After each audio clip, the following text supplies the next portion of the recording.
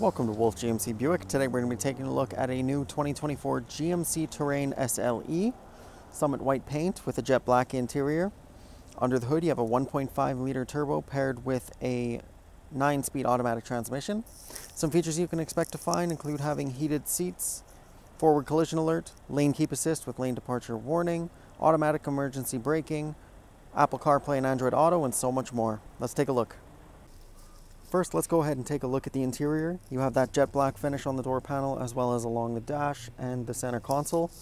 Storage compartment along the bottom and in the center of the door panel.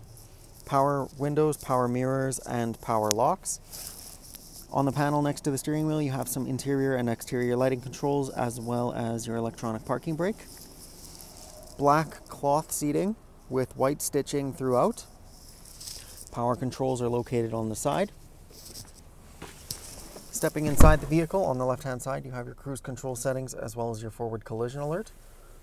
Right-hand side has your voice recognition as well as directional controls to control the driver information screen in front of you. There are several different driver information and vehicle maintenance screens that you can scroll through. The entertainment center in the middle has your audio.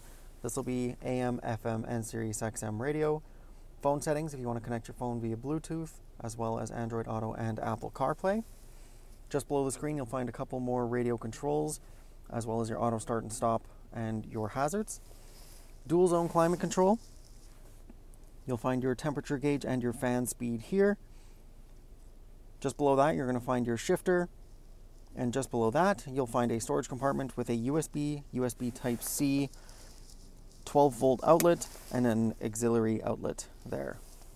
Dual cup holders on the center console just in front of your several different driving modes that you can select, lane departure warning, as well as your heated seats. Small storage compartment tucked underneath the front of the center console there. You can open up the center console, plenty of storage inside, deep storage, and a small bucket storage on the top, as well as an LED lamp so that you can see easier at night or in the dark. Looking up top, you have your rear view mirror, of course. You also have a couple of interior lighting controls, as well as a sunglasses holder. Just in front of the passenger, you have a small storage compartment located just above the glove box. And of course, you have the glove box itself, which as you can see, lots of room in there for anything you might need to store. Moving on, we're going to go ahead and take a look at the exterior. You have the Summit white paint, red GMC emblem on a black grille black accent along the bottom of the front bumper, LED headlamps, aluminum wheels with GMC center caps. You have black trim around the front wheel well, down the bottom of the side of the vehicle, and around the rear wheel well. Paint matched mirror caps with paint matched door handles with keyless entry. This will be at the front and back doors.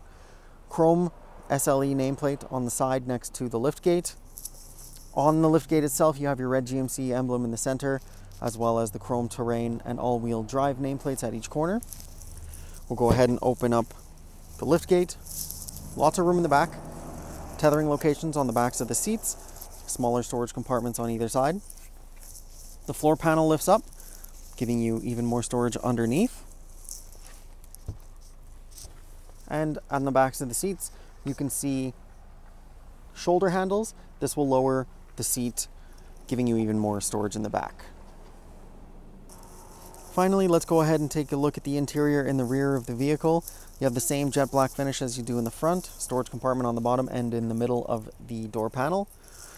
Magazine holder on the back of the passenger seat.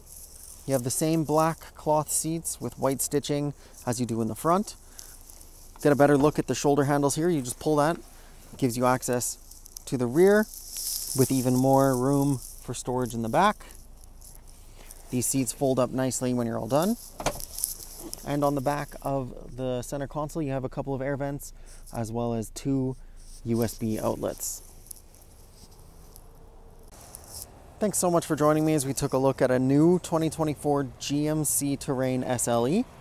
If you liked the video, make sure you leave a like, subscribe to the channel so you can get more videos just like this one, and we hope to see you in the near future.